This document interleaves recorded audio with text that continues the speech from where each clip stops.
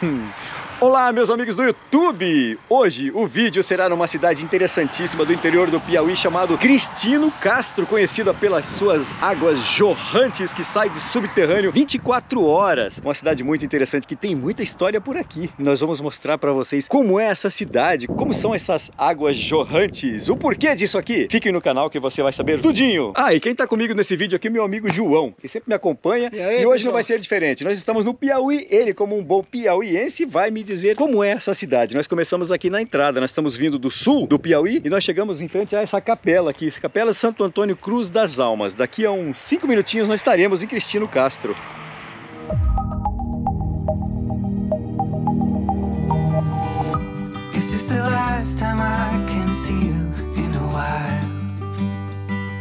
Is it the truth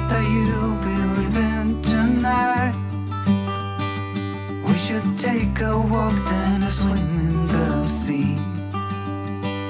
That would mean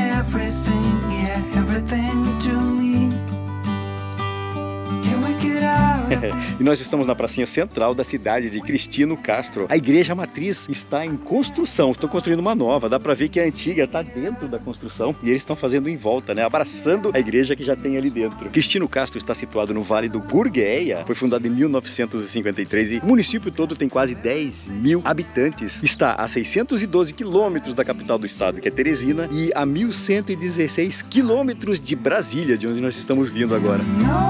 E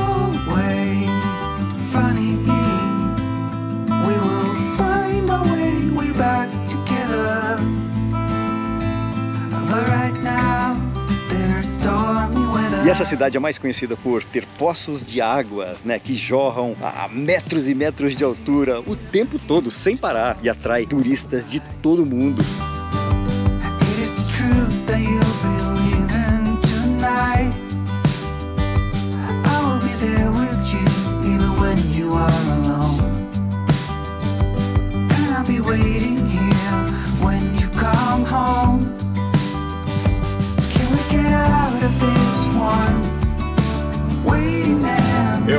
Uma coisa interessante de Cristino Castro, que já deu para ver que a cidade é construída ao longo da BR-135, né? E os poços jorrantes, eles ficam mais ou menos a 40 quilômetros.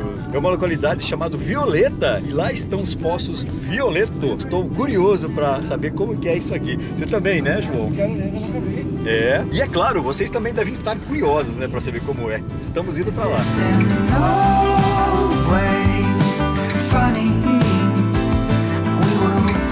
going E tem uma coisa muito interessante aqui, nós estamos indo para os poços de águas jorrantes, né? E do nosso lado tem a Serra das Confusões. Do outro lado da Serra das Confusões fica o Parque Nacional da Serra da Capivara, em São Raimundo Nonato. É onde vamos fazer o próximo vídeo do canal Deva no Ar. Eu já vi, eu já vi. As águas, João não viu, mas eu já vi. Você não viu, João? Eu já vi as águas jorrantes. Nós chegamos aqui, gente, distrito aqui de Violeta, e ali tem os poços jorrantes. Eu já vi um dos poços. Lá, ó. Viu? Lá atrás do restaurante amarelo. Ih, já vi.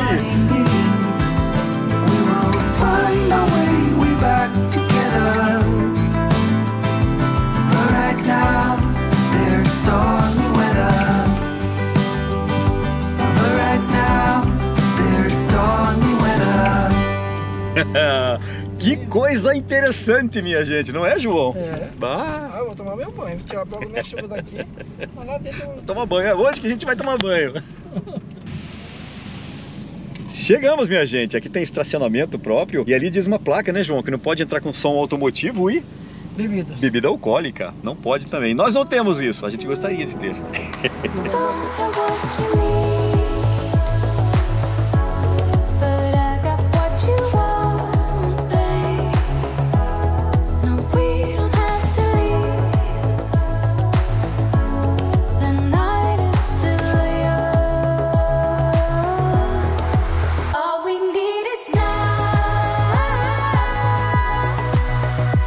Lógico que eu vou ficar descalço aqui para aproveitar tudo aquilo lá.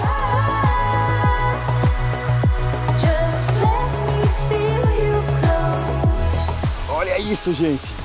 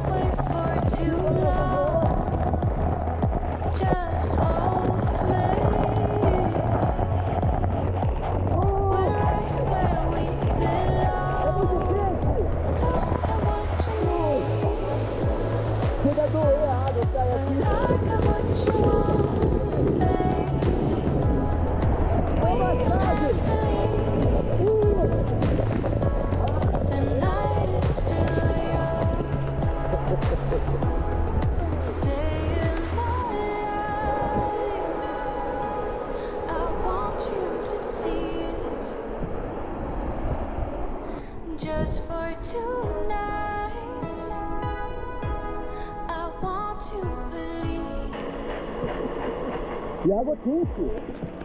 So keep on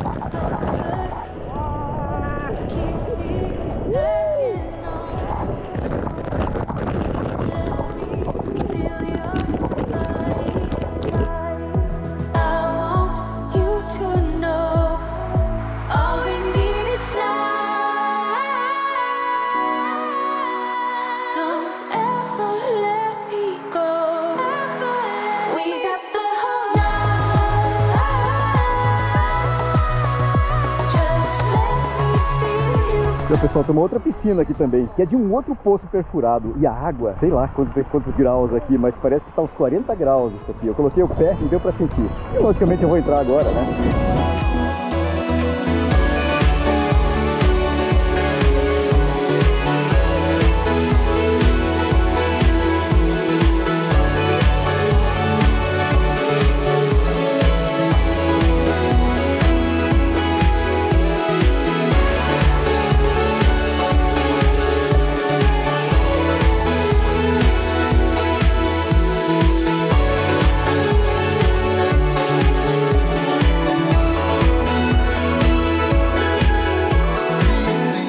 Esse aquífero aqui em Cristino Castro é um verdadeiro mar do subterrâneo. Está a mais ou menos 900 metros de profundidade. Ah, e tem mais uma coisa, um mar de água doce. É um outro detalhe que disseram também que não haverá problema de abastecimento pelos próximos 500 anos.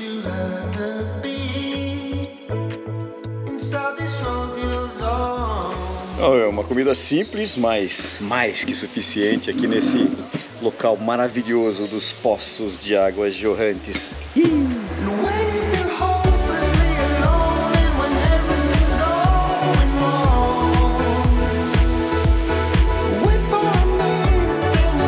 Olha, gente, tem mais um detalhe. O senhor que mora aqui, que é dono desse restaurante, dono desse local aqui, ele falou que os poços de águas jorrantes é público, mas a piscina é particular. Tanto que ele cobra dois reais para entrar ali, ó.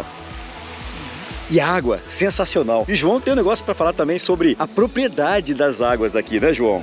Eu creio que devido à temperatura desta água e à constituição bioquímica desta água, como sais minerais, enxofre e outros sais, isso deve ser bom para o certo tratamento de patologias reumatológicas e também para alívio das dores articulares, inflamações articulares, tudo isso. Exatamente. Cicatrização, né, João? Muito bom isso aqui. Tá de parabéns esse local aqui, viu, gente? Nós vamos de novo. Nós vamos de novo. Pensa nos caras que gostaram d'água, né, João? Gostou? Até porque eu sou aquariano, né? É, e eu sou peixes, por isso que eu gosto de água.